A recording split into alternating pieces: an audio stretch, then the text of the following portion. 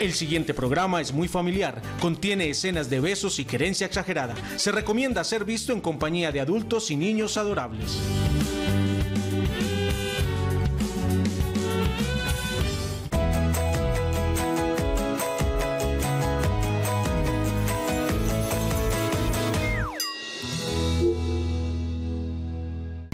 Nos unimos en un arrullo para abrir juntos un camino. Yo te ayudo a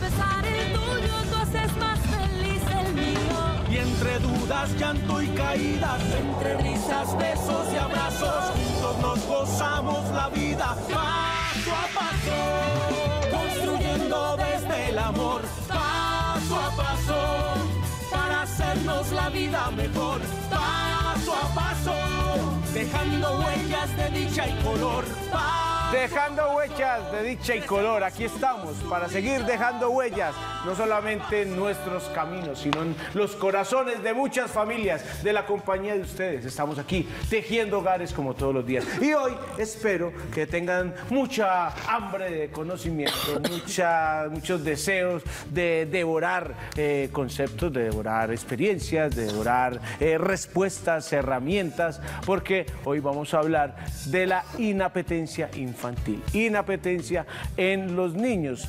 Eh, a muchos de nosotros, yo no sé cuál es, qué chip tienen las mamás en su ADN, que le tienen que dar a uno comida todo el tiempo, a todas horas, de cualquier manera, por donde se la puedan dar, y lo tienen que ver a uno gordo para verlo aliviado. ¿O no le pasó a usted, Moni? ¿Qué mal? ¿Bien o no? Lástima que sea solo cuando uno está chiquito, porque crece y Ah, todos los y ya gordos... le pues, llevar la comida, pues no le dan. Hola a todos, buenas tardes. Aquí un poquito mejor, ya va pasando. Eh, tengo un poco más de voz que ayer, aunque todavía me cuesta. Eh, tengo un muy buen compañero que hará mi trabajo hoy. Mentira, no. Aquí sigo, quiero felicitar a Leo. Eh, por el debut ayer. Muchas gracias, Moni. He leído de la crítica y la prensa La crítica especializada. muy buenos comentarios de la obra de Leo. No nos digamos mentiras. Creo que hay carcajada asegurada desde el minuto cero hasta el. ¿Cuánto dura? Hora y treinta. Hora y 20 más o menos, Hora y hora y 20. 30. Bueno, si quieren pasar un rato bien rico allá aplaudiendo a Leo, sobre todo mi invitación es a que conozcan, se den la oportunidad de conocer al otro Leo. Sí, sí, es- eso es clave. Eh, pues bueno, hay hoy también, gracias a Leo, boleticas para que vayan. Hay dos pases dobles para hoy y dos para mañana. Porque la obra es de jueves a sábado, próxima semana igual. Y la invitación es a extender a quienes no ganen, pues a que vayan a apoyarlo. Eh, vamos a aplaudirle, a reírnos, sobre todo a regalarnos ese rato de risa garantizada con un texto que según leí, pues no me sorprende eh, haberlo leído, pero está muy bien escrito, muy bien contado, muy bien estructurado, muy bien argumentado, con unos tiros geniales que solo se le pueden ocurrir a un genio como Leo. Entonces, pues bueno, es un regalo que vale la pena darnos. Eh, quienes quieran hoy participar, solo habilitaremos por línea telefónica quienes se quieran inscribir hasta el final del programa, cuando haremos el sorteo para comunicarles a los ganadores de hoy y a los de mañana. Muchas gracias. Yo- ¿Qué hace uno ante tanto piropo? Uno queda desarmado ante eso. Espero estar a la altura de todo lo que contó eso es sin haber ido. Mucha- sin haber ido y sin haberle dado nada de comer ni de tomar todavía. Hoy que vaya, Hoy que vaya. eh, el lunes, téngase. El lunes cuenta, el Téngase, lunes sí, el lunes les voy a decir. Eso está muy bien, Moni. Muchas gracias a ustedes, invitados, sí, a disfrutar de la obra y a que participen por esas entradas. Como lo decía, hoy hablamos de inapetencia infantil y me vuelvo a acordar de todas las cosas que le hacían a uno y termina diciendo uno para que los niños coman. Pues además de lo del avioncito, del celular. A usted no le dijeron nunca, vea, los niños en África esperando. Pero una- obviamente. un plato de comida, tanto niño en la calle. Porque nos preocupa que nuestros hijos no coman. Pero ¿a qué se puede ver esa inapetencia? Eh, hay varias formas de inapetencia. Por ahí leía yo que hay una falsa inapetencia eh, y, y nos angustia a los padres ese tema. Pues llámenos al 268-6033 y cuéntenos todas sus preguntas, sus experiencias, si lo han vivido con sus hijos, si en este momento no saben qué hacer para que sus hijos coman, porque no comen, si les preocupa que es que el niño se nos va a desnutrir, es que el niño tiene que comer, hay que insistirle que coma. pues llámenos y aprendemos todo de este tema hoy de la inapetencia infantil. Más allá de la, inepe- de la inapetencia, que será el tema en el que hoy específicamente nos centremos, el tema de la nutrición infantil siempre genera grandes dudas y muchas reflexiones.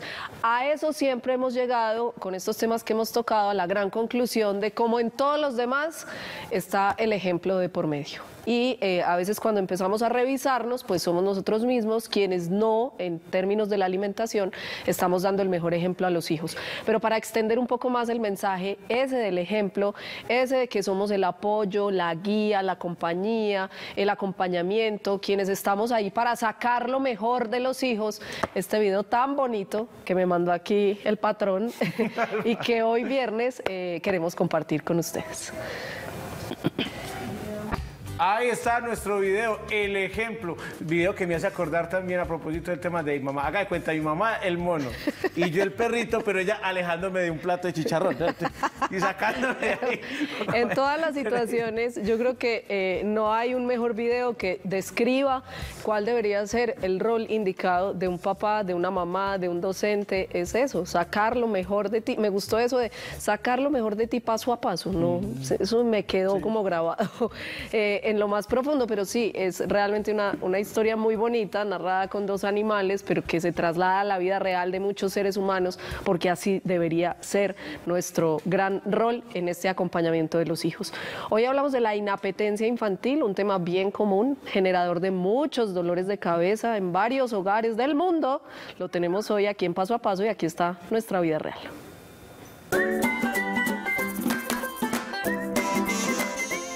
No sé si habían alcanzado a ver a María Ángel, que estaba ya por ahí jugando en nuestro set, pero está con nosotros la mamá Catalina Ortiz. Catalina, ¿cómo estás? Muy bien, gracias. Bienvenida. Y María Ángel, María Ángel, ¿cómo estás? Hola Catalina. Bien. Hola María. Ahí está María. Ella está feliz ahí jugando. María Ángel, que tiene 20 meses. Sí, 20 meses. Perfecto. Catalina y Juan José, el papá está aquí también. Creo que se quedó allí cubriendo la parte trasera, se da ahí con María Ángel. Bienvenido. Ellos, ellos siempre Muchísimas vienen ahí gracias. como de protectores Sí, de su sí. manada, pero mm, bajo perfil. Que no, no, yo, yo me quedo aquí por, por si la niña Por si tiene que acaso, salir, por si acaso. Sí, mi amor. Pues bien, como les contábamos, hoy hablamos de inapetencia infantil y aquí hay un caso que ilustra lo que pueden ser las mil y una historias que sucedan, yo diría que en todos los hogares, sin falta. Hay unas mamás que se angustian más que otras y esto conlleva, por supuesto, a consultas, búsquedas, eh, soluciones, como es el caso de nuestra vida real hoy. ¿Qué pasó con María Ángel? ¿Cómo ha sido su historia de inapetencia? Bueno, Mónica, sí es real lo de la angustia. Eh, la niña desde que nació eh, tomó leche materna hasta los seis meses exclusivamente. Luego O sea, está ahí comenzamos... súper bien. Sí, Tragona, comelona, Sí. cada dos, tres horas, sí, sin falta. Gordita como toda la familia chocha, quería. como decimos aquí. sí, hermosa. Eh, luego de los seis meses comenzó la alimentación complementaria. Eh, bueno, también me parece que la recibió muy bien. Hasta los 12 meses íbamos muy bien. Cuando empezó ya ahí sí a presentar la inapetencia. Eh, pues con las personas que teníamos a nuestro alrededor empezamos a preguntar qué era lo que pasaba ahí. Porque tengo Pero eso empezó a presentar la inapetencia, ¿por qué lo decías? Ya no desayunaba, no quería nada. Y era solo con la Seguía comida con leche materna o cómo íbamos ahí. Sí, era solamente con la comida complementaria. Ya no quería ningún alimento, eh, pues ninguna verdura, eh, nada. ¿Pero la seguías alimentando con leche Sí, materna? solamente pedía leche materna, solamente pedía leche materna. Entonces ya no empezó a desayunar, eh, ya no empezó a recibir tampoco el almuerzo, ni empezó a, a recibir la comida. Le daban Ya. y rechazaba incluso los alimentos que siempre le habían gustado mucho. Sí, sí, los poníamos en la mesa donde está acostumbrada a comer desde que comenzó pues a sentarse.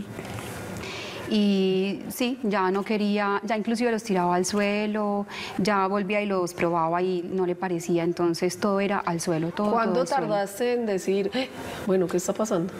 Pues porque el primer día uno dice, ay, pues bueno, no quiso comer, pero ya eso se va repitiendo hasta que llega un punto en uno dice, no, aquí hay algo extraño, voy a preguntar qué fue lo que Sí. empezaste a hacer, ¿cuánto pasó? Bueno, yo creo que más o menos dos semanas eh, hicimos eso, porque la verdad, como pues es nuestra primera hija, sí nos angustiamos bastante. ¿cierto? Sí venía comiendo tan bien porque probaba de todo, eh, como que ya no estaba recibiendo ningún alimento, ¿cierto? Solamente pedía leche materna. Eh, como te digo, tengo una prima también que tiene un hijo un poco más grande que María Ángel. Eh, a ella también le consultábamos, también nos lo dijo, ¿cierto? Que era pues eh, normal, pero entonces pasaban los días y para nosotros ya no estaba siendo tan normal, o sea, ¿qué le dábamos aparte de la leche materna?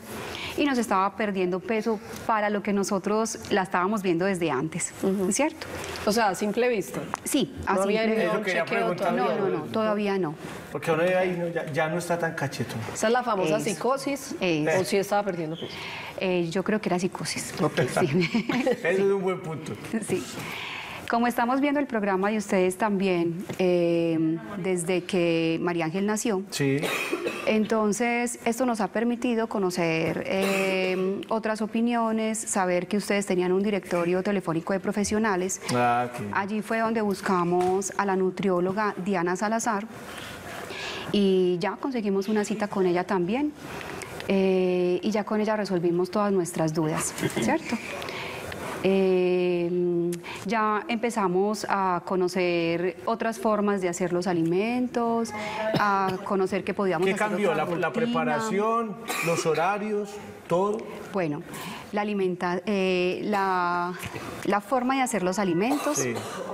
eh, también los horarios, las rutinas. Ya teníamos, ya empezamos a complementarlo con las orientaciones que nos empezó a dar la doctora Diana.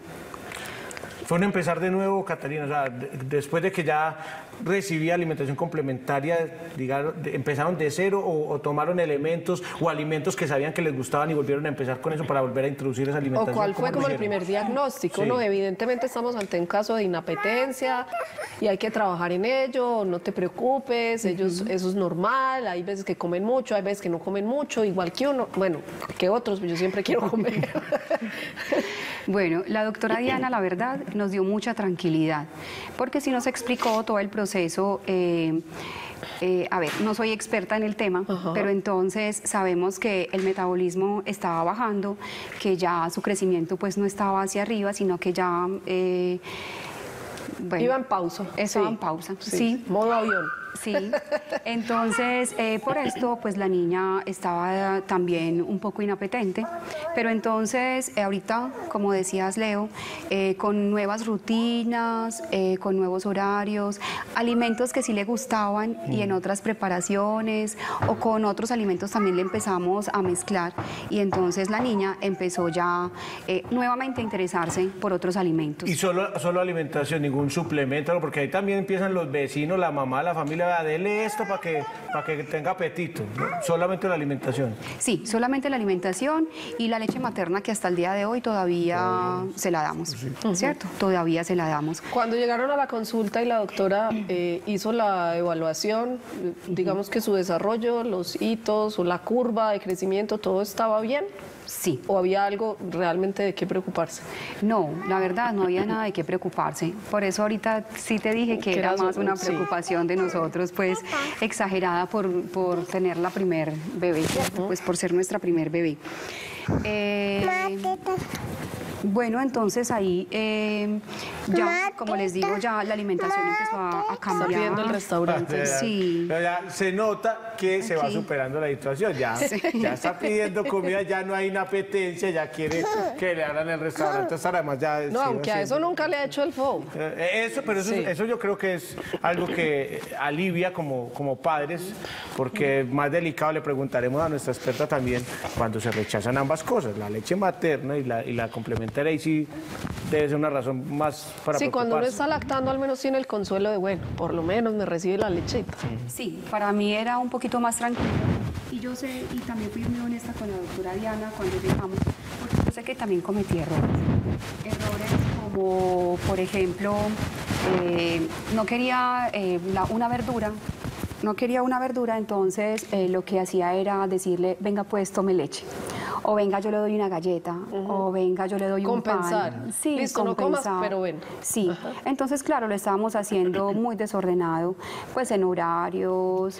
Lo que eh, pasa es que eso de manera inconsciente lo hace sentir a uno como el dueño del mundo, ¿no? Soy, soy lo más importante, solo me quiere a mí, y eso es una sensación muy rica, sí, y, el, Sí. y el- el inconsciente traiciona. Ujú, sí, uno solito cierto. los va llevando a eso. Sí, sí, es cierto. O sea, empezaste a cambiar tal vez esas conductas y también ayudó. Sí, también he sido, y nosotros, mi esposo y yo hemos sido muy conscientes de que queremos una alimentación sana, muy saludable para nuestra hija, ¿cierto? Entonces también por eso quisimos ir donde la doctora Diana, por eso sí, en realidad hemos estado muy comprometidos con eh, hacer nuevos alimentos, o sea, ser muy creativos inclusive en la cocina. Eh, la niña también ya eh, desde muy pequeña hace parte de la cocina, pues ella también eh, se monta en un taburetico o en el piso partimos los alimentos, entonces se ha interesado por nuevos alimentos. La cebolla la coge y se la mastica común y corriente, le encanta la zanahoria y la pide. O sea, yo iba a preguntar, ¿ya come de todo? Pues creo que sobra mi pregunta. Después de la cebolla, que se venga lo De- que después sea. de cuánto tiempo de ese cambio de rutinas y alimentación? ¿Seis meses tal vez? ¿Cuánto llevan en este proceso? Nosotros llevamos ya ocho meses Ocho con la meses. doctora Diana, sí, ocho meses. Eh, la verdad, no tengo el tiempo así tan medido, pero sé que rápidamente logramos eh, cambiar, sí, No lograr fue algo cambiar muy hábitos en la difícil, niña. ni una cosa de ir a comprar cosas súper costosas y elaboradas, de horas enteras en la cocina, de preparaciones eh, eh, extravagantes y a ingredientes eh, inalcanzables, ¿no? No, no, no, no, para nada. Al principio, a ver, la verdad es que mm, vengo también de unos hábitos poco sanos, Ok. ¿cierto? Eh, y estar aprendiendo eh, nuevos hábitos, la verdad, ha sido un poquito, pues, dispendioso O sea, les para tocó, mí. fue a todos. Sí, a todos, pero la verdad ha sido maravilloso, maravilloso verla ella ya sentarse, estar comiendo. Bueno, ahorita Leo también me preguntaba, eh, ella se come ya todos los alimentos, a veces no, a veces no nos quiere recibir los frijoles, a veces no quiere el arroz, hoy quiere la carne, toda la semana ha querido la carne y la otra semana quiere el arroz. Pero como Sí. uno, ¿no? Claro Es que creo sí. que nos pasa lo mismo, Sí, sino por que los supuesto. juzgamos porque son niños y, y no tienen cómo comunicarnos eso, pero a todos nos pasa. Por supuesto que sí. Vamos a ir a la línea porque ya tenemos llamada en el 268-6033. Eh, Estefanía está con nosotros, mamá de Tomás y Amalia. Estefanía, ¿cómo vas? Bienvenida. Hola, mis hermosas. Hola. Somos primas. Ave María. Yo soy la prima que ella decía que era que como tiene un, un hijo mayorcito, entonces buscaba tranquilidad. O sea, que fue- ha sido el acompañamiento también parte de ese, de ese apoyo con ellos.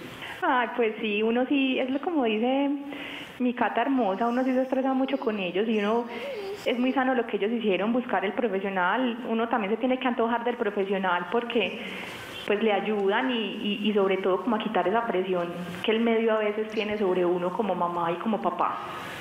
¿Y viviste la misma situación, Estefanía, con Tomás y Amalia? Eh, Amalia es una bebé recién nacida, ya apenas está con su teta a toda hora.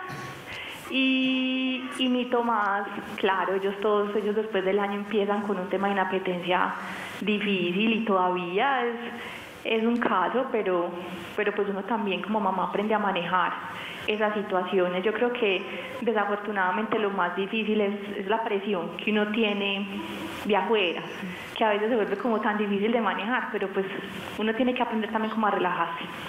Ok, Estefanía, gracias por llamar y por saludarlas. Un saludo para Estefanía. ¿Estaba rica, María Ángel? Sí, rica. Ella quedó satisfecha. Que yo no sé cuál es ese afán de las mamás de tenerlo que requintar a uno siempre. Pero, y como le digo una porción y, y vuelva y repita, mío, hay más.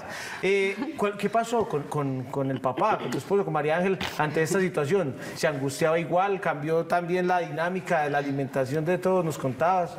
Bueno, a ver, eh, lo que pasa es que realmente en nuestra familia no ha sido como estás diciendo, que es la mamá la que siempre... El eh, papá es el que... Sí, en este caso el es que el papá. con la comida. Sí, el papá es el que se angustia muchísimo más, el que quiere que se coma todo el plato de comida y si no, no va a estar entonces bien, ¿cierto?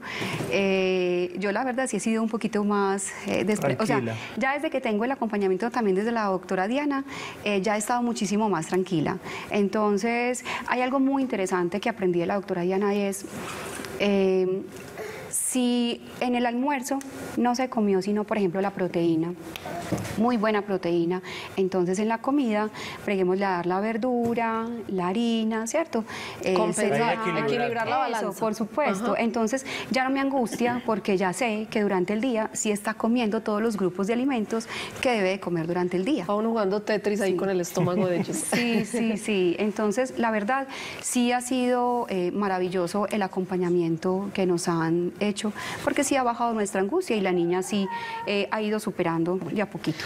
Pues es un tema que en definitiva, como lo hablábamos al comienzo, genera muchísima angustia en los papás, sobre todo en los primerizos que no han vivido esto, que creemos que de verdad al niño le va a pasar algo si no come, eh, se va a estancar su crecimiento, su desarrollo cerebral, cognitivo, emocional, físico, bueno, todos los ámbitos y no es tan así. Y con la famosa doctora Diana es que lo vamos a hablar ya después del corte de comerciales. A Catalina María Ángel, muchas gracias por compartirnos Muchísimas su gracias. experiencia para hablar hoy de inapetencia infantil.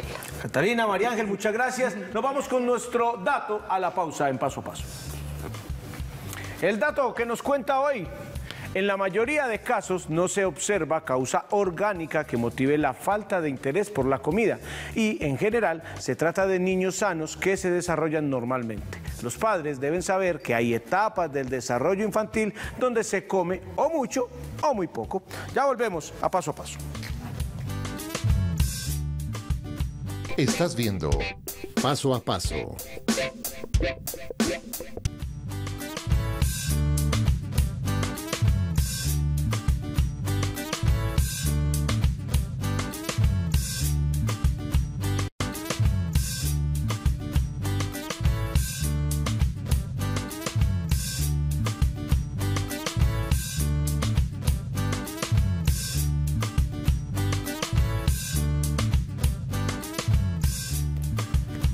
Dominic e Isabela están en nuestro Mamarazzi. Recuerden enviar videos, fotografías, grandecitas, pequeñitas a paso a paso arroba.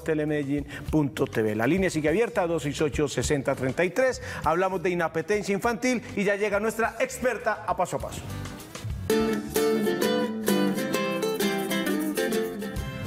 Diana Salazar nos acompaña hoy. Diana, bienvenida. ¿Cómo estás? ¿Cómo va todo? Muy bien. Bien, bien. Diana, es bienvenida. médica nutrióloga y mamá de Juan Manuel e Isabel. Así es. Muchas gracias por estar con nosotros No, hoy. Mucha hambre de conocimiento, eh, mucha hambre por saber de la inapetencia. Bueno, antes de empezar a hablar de inapetencia, Diana va a dictar en los próximos días una serie de talleres y cursos, algunos online, algunos presencial, y tiene regalo para ustedes los televidentes. Lo que van a hacer es entrar... Ay, la salvé. A ver, a ver. a nuestra página de Instagram para que vean de qué se trata, sigan las instrucciones y participen. Pero quiero que sea ella misma quien nos explique qué es lo que hay y a qué vamos a invitar a los papás que sufrimos tanto con la alimentación. Bueno, entonces realmente mañana hay un curso de alimentación complementaria presencial acá en la ciudad de Medellín. Es de 9 de la mañana a 12 del día. Es especialmente diseñado para mamás con bebés entre los 3 meses a los 7 meses aproximadamente o que ya hayan empezado pues como el tema de la alimentación complementaria y estén como desubicados o que estén próximos a empezar. Bueno, para este taller que es mañana, es de manera presencial, eh, tienen plazo para comentar la publicación hasta las 5 de la tarde. Pero si quieren asistir al próximo, ¿qué es? El próximo es un taller de recetas online, es un taller que hacemos el próximo 12 de junio a las 8 de la noche y quien no pueda estar presente lo puede ver en diferido durante una semana. Entonces realmente si no pueden estar disponibles en ese horario, pueden verlo después, incluso verlo varias veces durante toda esa semana. Pero, pero ¿qué es mejor? ¿Verlo en vivo? Porque si uno ve las repeticiones, comen todas las repeticiones. Digo yo, yo, yo comería todas las repeticiones. Igual se conecta y pues muy bueno si Sí. puede estar, ¿cierto? Es diseñado para bebés entre los 6 a los 24 meses de edad. Realmente son recetas de sólidos. Muchas veces pensamos como en la variedad de alimentos que hay, pero no sabemos cómo combinarlos y cómo hacer de manera práctica un plato nutritivo y completo. Para Entonces, este que es online, tienen plazo para participar eh, hasta el 11 a las ¿Hay hora? 10 de la mañana. Hasta el 11 a las 10 de la mañana pueden comentar. El 11 es próxima semana, 8, 9, 10, martes. Martes, eh, para que comenten en esa publicación. Los que van a asistir mañana, que es el de alimentación complementaria, que, sé que es otro tema que les interesa a muchas, pues comenten en- también ahí y digan a cuál de los dos van a asistir para que podamos separar los sorteos. Mañana... eh, hasta hoy a las 5 de la tarde tienen plazo para los de mañana. Susi, que es nuestra chica de redes, para no decir ese nombre tan extrambótico, eh, se comunicará con ustedes para contarles quiénes ganaron hoy para que asistan mañana y así lo haremos la próxima semana. ¿Listo? Perfecto. Muy bien, ahora sí. ¿Hay llamada? Hay llamada primero. Recibamos la llamada. Carolina, mamá de Sara, está ahí con nosotros. Bienvenida, Caro, ¿cómo vas? Hola, muy bien. ¿Y ustedes cómo les ha ido? Muy bien, contentos de oírte, Caro. ¿Qué edad tiene Sara? Sarita tiene tres años cumplidos hace un mes. Perfecto. ¿Y tu pregunta, tu experiencia con este tema? Mi experiencia, Sarita es de una bebé que nació muy pequeña de talla y de peso, dejando pelito de alambrado, como decimos por ahí. Y después del año comenzó un poco inapetente. Entonces, no- ve- siempre esa curva de crecimiento y desarrollo venía muy en el límite bajo. Nunca se me pasó, pero sí en ese límite. Entonces comenzó la presión de todo el mundo opinando, todo el mundo diciendo, y pues yo tras varias consulticas que hice con, con amigos nutricionistas, la decisión que tomé fue, eh, se les acepta sugerencias, pero como no permitirles que, que comenzaran ese estrés tan, tan caótico que le forman a uno.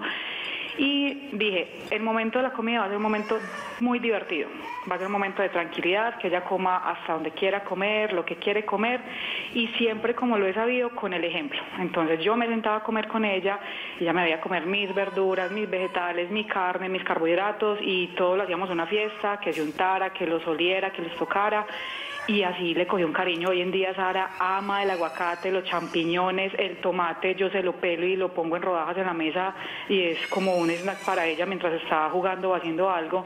Con las frutas también me va súper bien y es como es el llamado, pues desde la experiencia propia que no se nos, o sea, entre más se nos convierta como en esa angustia, eso es lo que vamos a transmitir.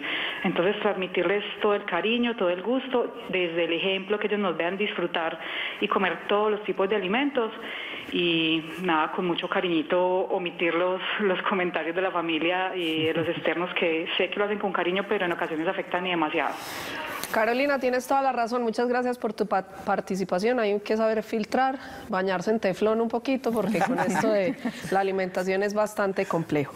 Pero empecemos por entender qué es la inapetencia. Hay varias clases de inapetencia. Leo hablaba ahora cuando uno empieza a leer que la falsa inapetencia, que la inapetencia no sé cuál, que la que sí también, que sí la que sí no. Eso es lo mismo, son como denominaciones diferentes y a unas hay que pararle más bolas que otras o cómo funciona. Exacto, pues básicamente hay tres grandes grupos de inapetencia. La inapetencia fisiológica, que es esta inapetencia que hablábamos, por ejemplo, con Catalina, lo que le pasó a María Ángel.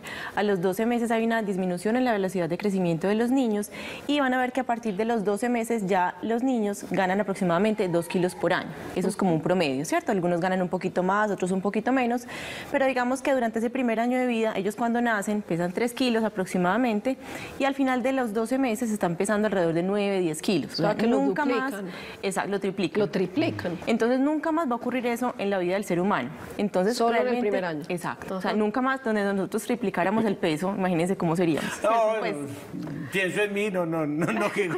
Pues ahí encuentra uno muchas explicaciones también a, a las eternas noches de cada dos horas comiendo, Exacto. cada tres horas durante el día, mamás agotadas, pero tiene una explicación y es que el bebé triplica su peso y de, y de dónde si no come. Y si lo único que, come- que hay para comer es leche, pues ahí estamos, bien. Hágale ahí. Entonces, ¿qué pasa? En ese primer año de vida triplica el peso y la talla también se incrementa mucho, incrementa apro- aproximadamente un 25 por- un 50% de la talla del nacimiento. Cuando nacen, eh, miden aproximadamente 50 centímetros y a los 12 meses miden 75. Entonces aumentan en un 50% de la talla inicial, ¿cierto? Entonces realmente ese requerimiento de energía y de nutrientes es muy alto durante ese primer año de vida y por eso es tan importante que tenga una adecuada alimentación, ¿cierto? Idealmente que comience con lactancia materna exclusiva, que a los seis meses empezamos con la alimentación complementaria, hacemos como esa transición porque realmente durante ese primer año de vida la leche materna sigue siendo el alimento principal o si le damos fórmula pues también. Mientras vamos haciendo la transición y ya a los 12 meses la idea es que esa alimentación complementaria cubra más requerimientos de energía y de nutrientes que la leche leche materna. Igual, leche materna sigue nutriendo, sigue aportando vínculo afectivo, o sea, tiene todos los beneficios del mundo, pero digamos que ya lo- las calorías que aporta la alimentación complementaria va a ser mayor que lo que aporta la leche materna. Pero esa transición la van haciendo ellos solitos. Ellos en la medida en que van comiendo más alimentos van disminuyendo las tomas de leche. ¿Qué tan frecuente es el tema de la inapetencia? Es decir, los 12 meses es como igual para todos y aparece un periodo de inapetencia eh, muy normal y muy frecuente, o hay unos que sí, hay unos que no. Sí, como todo, todos los niños son muy distintos. Hay niños que no, yo tengo mamás que me dicen, nunca estuve inapetente, nunca dejó de comer, siempre, digamos que tal vez se volvieron un poquito más, por decirlo de alguna manera, selectivos, digamos que ya no, no comían la, la misma variedad que consumían antes, pero dentro de lo que consumen, consumían buena cantidad. Hay otros que son la mayoría que sí nos da esa inapetencia, incluso nosotros también lo vivimos con nuestro hijo menor, con Juan Manuel, que es como el que tenemos como más recuerdo más reciente. Eh, ocurre más o menos a los 11 meses, 12 meses. Uno dice que 12 meses, pero realmente puede ocurrir un poquito antes, un poquito después. Y digamos que esos episodios de inapetencia pueden perpetuarse de manera como intermitente, ¿cierto? Durante los dos, tres años siguientes vemos que hay épocas en que los niños comen mucha cantidad, hay épocas en que comen más poquito, pero eso corresponde o eso obedece a sus necesidades fisiológicas. Entonces digamos que ahí respetar. Esta es entonces la inapetencia fisiológica. Exacto. Ya vamos a hablar de las otras, vamos a la línea. Vamos a la línea porque está Cristina, abuela de María Ángel. Cristina, ¿cómo estás? Bienvenida. Bien, ¿y ustedes? Muy bien, muchas gracias. Ah, bueno. ¿Qué edad tiene María Ángel, Cristina? No, mi nieta tiene ocho años. Perfecto. ¿Y cuál es tu pregunta, tu experiencia? Y a ver, ella también fue muy inapetente eh, estando muy pequeñita, aunque ella cuando nació, ella sufrió, ella era intolerante a la lactosa, demasiado, demasiado. Ahí le mandaron una leche horrible, ay, qué leche tan, tan, es que ni ella la toleraba, qué pesar, pero le daba una- unos cólicos impresionantes. Oiga, duró como dos años buscándole médicos y todo y nada, que encontraban pues como la solución. Y ya, bueno, a lo último ya le encontraron pues que era, que era intolerante a la lactosa, demasiado, demasiado enferma la niña.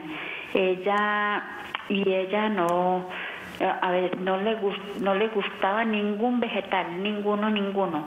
Entonces, eh, ah, yo le dije a mi hija, yo le dije, no, déjela, déjela que si, si no como pues más tarde, por a los seis años, más tarde algún día los va a comer, más grande. Y de todas maneras, pues la niña ya tiene ocho años, va a cumplir nueve, y ella ya come de todo, pero en ese tiempo yo decía, no, no, no, porque mi hija la obligaba.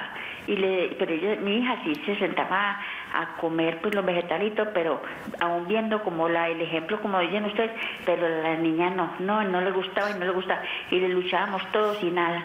Entonces, pero ya sí, ya, ya, sí, ya tiene casi, como les digo, va a cumplir nueve años, ya sí se los come, pero en ese tiempo casi que la obligaban y ella ya llorando, llorando, llorando, llorando, y pataleaba y no se los comía. Pero yo digo una cosa, pero ¿por qué obligar a los niños a comerse lo que no quieren? Si mañana o pasado mañana ellos ya se los van a comer y les va a nutrir igual. Y la niña es. ahorita es muy sana, súper sana. Ya se alivió de, la, de lo de la intolerancia, la, porque el médico le dijo que eso le duraba por ahí cinco, cinco años. Ujú. Ok. Perfecto, Cristina, Abuela, muchas muchas gracias. Eso me imagino que obedece a otro tipo de inapetencia, ¿no? Ya hay una causa un poco Sí, más. hay una causa orgánica que sería como Ajá. el segundo tipo. Entonces, digamos que la segunda causa de inapetencia es descartar alguna enfermedad orgánica en ese niño, ¿cierto? Alguna enfermedad, bien sea aguda o enfermedades crónicas. Entonces, si yo veo un niño, normalmente cuando es inapetencia fisiológica o es una inapetencia por malos hábitos, que sería como el tercer tipo de inapetencia, los niños tienen un peso y una talla normal y tienen un desarrollo normal. Cuando ya tenemos una patología de base, ya podemos ver niños que tienen bajo peso, que tienen baja talla, entonces ya ahí tenemos que sospechar otro tipo como de enfermedades, ¿cierto? Pero la mayoría, la gran mayoría, es porque muchas veces la expectativa de nosotros como padres o cuidadores es más alta que lo que realmente vemos en la realidad. Entonces queremos que los niños coman más cantidad de alimentos, queremos que se coman todo lo del plato. Y lo que decía Catalina es muy importante, los niños tienden a compensar. Digamos que hay días en que pueden comer mucha proteína, los otros días se comen solamente los carbohidratos del plato y de esa manera si uno hace como el recuento de la semana, lo que consumen, tiene una dieta balanceada balanceada, siempre y cuando yo como cuidador o como padre brinde siempre alimentos que sean nutritivos. Pero Diana, cuando hablas de esos malos hábitos, digamos, una mala técnica eh, a la hora de servir los alimentos, de ofrecérselos a ellos, puede ser causa de una inapetencia. Pues el afán, eh, tiene que almorzar Total. todos los días rápido, el- si no es con el celular, entonces no, no, no come, ese tipo de Exacto, cosas ese afectan tipo de cosas. también. Y ese tipo de compensaciones, lo que hablaba, por ejemplo, ahorita Catalina. Si yo realmente no estoy informada cuando eh, tengo el niño que está con la apetencia fisiológica, como nos pasó con María Ángel, ¿yo qué, qué hago como adulto si realmente no sé qué hacer? ¿Cierto? Entonces, escucho comentarios, consejos de las amigas, de las tías, de las abuelas, ¿cierto? ¿Qué doy? Alimentos de fácil aceptación por parte del niño. Dulces, mecatos, y como característica que tienen esos alimentos, son altos en sodio y son altos en azúcar. Son alimentos que nos gustan, que tenemos un gusto innato por el sabor dulce y por el sabor Es salado. como cuando uno como mamá dice, ay, pues por lo menos comió algo. Exacto, tal cual. Es mejor que no. Es mejor que, que no lo coma. Es mejor que no. Si realmente el niño no quiere comer alimentos hambre no le va a morir, como le dicen ahora las abuelas. es porque no tiene hambre. ¿Yo qué estoy haciendo cuando ofrezco alimentos inapropiados? Estoy cambiando esas preferencias alimentarias. Entonces ya el niño no es porque quiera hacer mal, ¿cierto? Ya el niño que dice, yo no voy a almorzar porque sé que mi mamá después me da mi yogur o me da mi helado o me da mis rosquitas o me da mi mecato, entonces más bien, pues mejor negocio no, no almuerzo. Exacto. ¿Cierto? Porque digamos que ya obtiene lo que, el lo que él quiere. Pero eso quiere decir que la inapetencia no es sinónimo de desnutrición. Exacto, rara vez. Puede ocurrir, ¿cierto? Pero desde que descartemos enfermedades orgánicas en un niño normal, eh, tenemos que más bien trabajar en el tema de los hábitos. Perfecto. ¿Cuándo es motivo de preocupación? Cuando vemos que el niño no está ganando peso, no está ganando talla. Pero cuando vemos es que eh, Catalina ahora veía que la niña no estaba Ah, sí. ganando, pero realmente llevarlos a una Sí, consulta, que les hagan una evaluación y si hay pérdida de peso y de talla, ahí sí hay un motivo de preocupación. Exacto, y mandar exámenes en caso de ser necesarios. Mientras sea una inapetencia que no afecte este desarrollo, ¿se vale? ¿Se vale dejarlos libres hasta que les vuelva a dar ganas de comer o cómo se maneja? Bueno, lo que hablaba Catalina Ni es muy el avión, importante. ni- Rutinas. Rutinas es supremamente importante. Evitar cualquier tipo de distractor. Pantallas, lo que decías, pantallas, celulares, tabletas, juguetes, que jueguen con la comida. Eso es totalmente permitido. Ellos, lo que hablaba ahorita la otra- el otro testimonio, Carolina, Que se jugar, exacto, jugar con los alimentos, tocarlos, saborearlos, aprender a identificar cada alimento por separado, reconocerlos en un supermercado, involucrarlos a la cocina, o sea, todo eso nos está ayudando a la aceptación de alimentos, aunque son actividades diferentes a sentarlos a la mesa, ¿cierto? Entonces, digamos que cuando están en la mesa, ¿qué importa? Que se ensucien, que se unten, que lo conozcan, porque realmente así es como ellos se sienten involucrados y sienten interés por comer. Entonces, ese tipo de juego con, el, con la comida sí es permitido. Pero otros tipos de juegos, muñecos, eh, canciones, el avioncito típico Sí. de las abuelas, o esta por la mamá, este por el papá, que tanto también pues hemos escuchado, nada de eso es apropiado. Otra cosa importante cuando tenemos un niño inapetente es no poner mucha atención en qué se come y qué no. Actuar como si nada estuviera pasando, incluso cuando vemos niños natural. un poquito más melindrosos, exacto. Simplemente se ofrece un plato nutritivo completo, teniendo en cuenta que por lo menos lo que esté ahí, dos, tres alimentos, yo sepa que son de aceptación del niño, siempre y cuando O sea, sean enfocar un poco más la tranquilidad de los adultos en lo que ofrecemos, no en lo que se come. Porque entonces eh, compensamos con, ay, al menos se comienza rosquita, ahí está el carbohidrato. Sí, exacto. Entonces, no, que nos quede la conciencia tranquila sabiendo que ofrecimos todos los grupos de alimentos, que era un plato agradable, que tuvo el tiempo para comérselo. No quiso. Como decía mi abuelita, comida se les da, pero ganas A él no. le que- Y lo otro son horarios. Eso es súper importante, porque entonces yo no voy a dar un desayuno, no se lo comió, entonces se lo doy a la media mañana, se lo doy al almuerzo o se lo doy en cualquier momento del día. No. Que el niño tiene que tener horarios establecidos. No quiso comer, perfecto. Esperamos entonces al siguiente tiempo de comida y ahí en- probablemente ese tiempo de comida lo haga de una manera más adecuada. Pero si empezamos a prolongar los horarios, entonces realmente no hay estructura y el niño no se acostumbra, son, son de rutinas. Bien, vamos a ir a nuestra pausa con la frase y ya volvemos para seguir hablando de inapetencia en paso a paso. La frase que nos dice a propósito de lo que comentaba Moni, el adulto escoge qué, cuándo y cómo dar los alimentos al niño. El niño decide si come y cuánto come. Ya volvemos a paso a paso.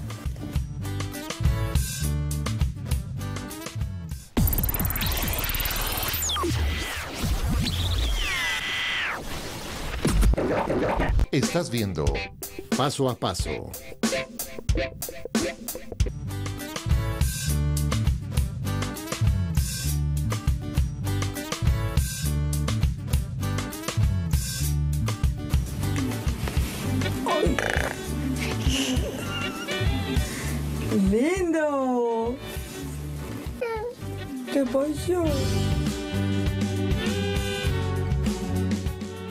Están en nuestro mamarazzi de paso a paso mientras María Ángela hace la degustación de almendras en nuestro set y volvemos para hablar con María Mercedes que está ahí en la línea. Cuando le hacen a uno así como Juan a la hora de comer, no, eso no es tan, ch- tan chévere. y tan Sí, sobre todo si es papilla de, de brócoli y le cae a uno en la cara, no, es muy agradable. María Mercedes, 268-6033, está ahí, abuela de Sara y Victoria. Bienvenida, ¿cómo vamos?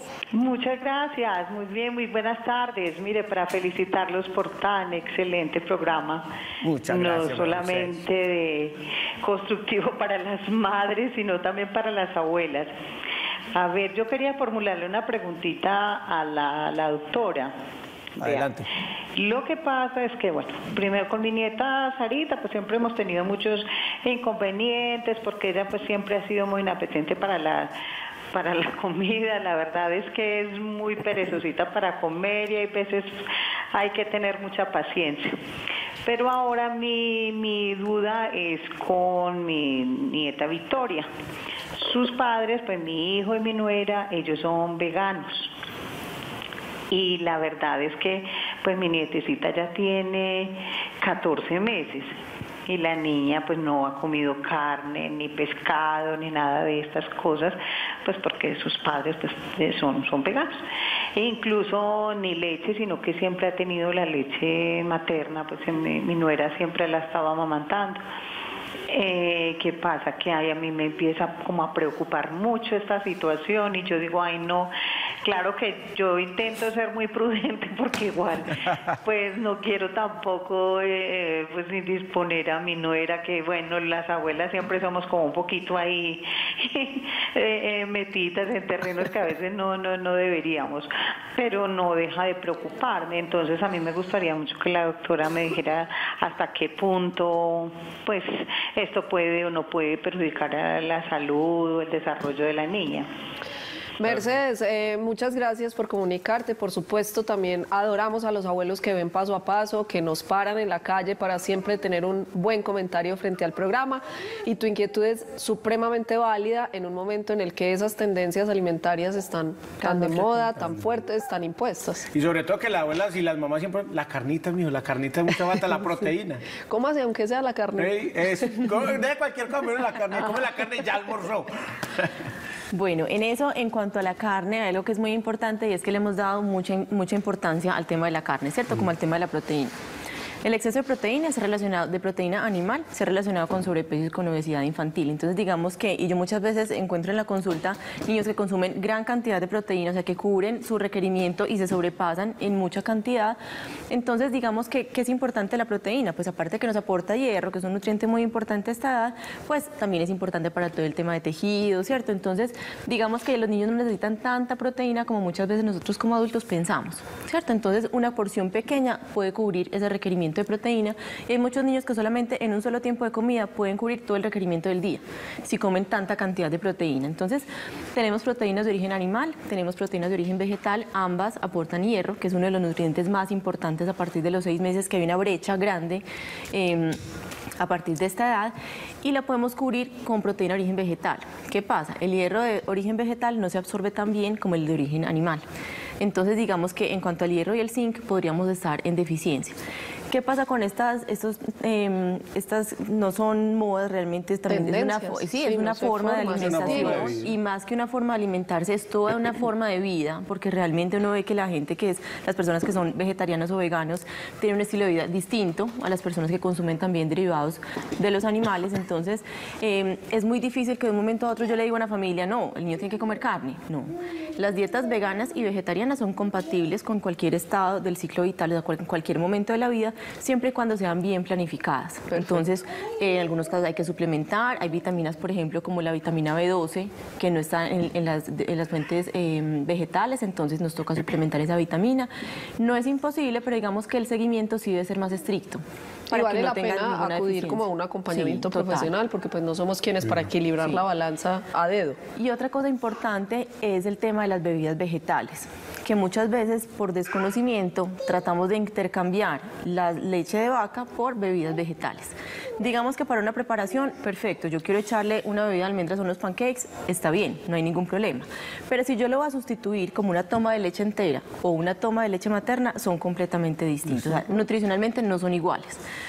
Entonces ahí también hay que aclarar que muchas veces a los 12 meses dicen, bueno, yo voy a suspender la lactancia, no voy a dar más leche materna, voy a empezar a dar bebidas vegetales para compensar lo que no toma de leche materna. Error. Que una cosa es que sea saludable y otra que sea nutritiva. Exacto. Y digamos que cualquier brecha de energía o de nutrientes a esta edad es supremamente importante. Entonces no son equiparables.